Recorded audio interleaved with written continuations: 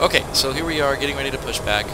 Um, what we're going to do is, uh, we got the APU going on here, so we're going to select our seatbelt sign on, turn our hydraulic 3A pump to on, zoom in a little bit on that for you, and then our uh, hydraulic 1 and 2 pumps to on. That is a company procedure to have these on. Some leave them in auto. Uh, we do that because it was a recommendation from Embraer for single engine taxiing to have those pumps on. Uh, this ensures that there's no uh, transition or loss of, of pressure, um, and it also doesn't rely on the automatic logic of the system, which is quite intricate. And if we were going to do a type rating course, we could get into that. But the automatic logic in the uh, aircraft, in the simulator, does match what we have in the real aircraft, and that was a painstaking process done by the, the guys over at FeelThere. So kudos to them. It's a lot of work. Um, anyways, we've got some switches out of the 12 o'clock position now. Uh, at this point, we would run our before start to the line checklist after we arm those uh, auto brakes to RTO. Um, so the two-line checklist would cover our briefings, uh, ensuring our ramp fuel matches what's on the release, um, and uh, getting the seatbelt signs and all that ready to go. So now we'll see that our cabin crew have let us know that they're ready for, uh, for taxi. The aircraft is secure. We come down to the pedestal, lock that cabin door. You hear the clicks, and uh, that lets you know that it's all secured up. Red beacon light comes on. Sterile sign's going to come on. It's going to give you that chime there. And uh, our transponder goes to out on. Uh, now we're ready for the before start below the line check. Uh, so we verify sterile signs on, doors and windows are closed and locked. But shoulder harnesses on, cell phones go off, and red beacon is on, and we're ready for push. Uh, so we're going to release the brake after we pull push out to the GPU. Always make sure you deselect that.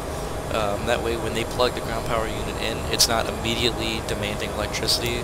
Uh, in the rain, that can uh, that can arc and that can uh, cause some, some unfortunate uh, situations for some guys outside the aircraft. We'd hate to do that. So we're going to start our push, just get ourselves off the gate, the brakes release, and here we go.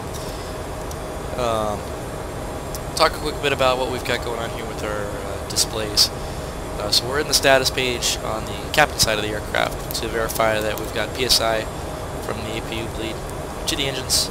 Um, our hydraulic accumulators are uh, pressurized and our um, brake temps are not doing anything wild. We're not allowed to take off with those brake temps in the amber uh, indication area, so uh, we'll, we'll check that during our taxi check. Now the startup sequence of the aircraft is extremely easy. Uh, what we're going to do is call for engine start. We're going to start number one first. Uh, you can start number two first if you want to, depending on which way you're uh, turning the aircraft. That's one of the benefits of putting these pumps to on. Since both pumps are on, all of our wheel brakes and our nose wheel steering is being uh, being activated. Complete that uh, pushback and set the brake. So we're going to select this uh, start selector, start stop selector to run, and then start. Start your timer for your starter duty limit cycles we could get into all that interesting intricacy stuff if we wanted to do a type rating course here, but uh, I don't think that's quite necessary. Now that low hum noise you hear in the start is uh, pretty consistent with first flight of the day or the aircraft's been sitting for a while. Um, it, it, really does do that. It's a pretty cool noise for a small uh, small engine. So the uh, ITT comes up around 20% into fuel flow starts. ITT is going to come up and your red line is going to recycle uh, out of the starter protection. Um, so that's a good stable start on number one. And uh, we'll stop the timer and reset it. Now, it's pretty regular for regional airlines in the U.S. Uh, to single engine taxi the aircraft. Uh, we're not going to do that because it's a lot of uh, a lot of effort in a sim. It's a lot easier in a real aircraft to single engine taxi than it is in a simulator. So we're just going to start that bad boy right up. So starting number two. Now we're taking a look here at our N2, which is coming up at a 4.5-5%. It moves pretty quick. Uh, right around 20 to 22 percent that fuel flow is going to come on and um, then it will uh, kick some fuel in there and start it up so it's an incredibly automated process we're just managing and watching it and uh, if it's going to go hot or if something goes wrong we can immediately turn the start stop selector to stop and that takes care of all of our problems there then one comes up to its uh, original selection and uh, we're looking good to go now we can run our after start flow, make sure that switch is guarded. After start flow, we're going to set our flaps down to 2. Take a look over our FO side. I go full right rudder, full left rudder. We're going to check the tops, right, and down, up, Now, if we were single engine taxiing, I would leave the hydraulic pumps in the on position, but because we got them both on, we can flip them back to auto and the auto logic will take over.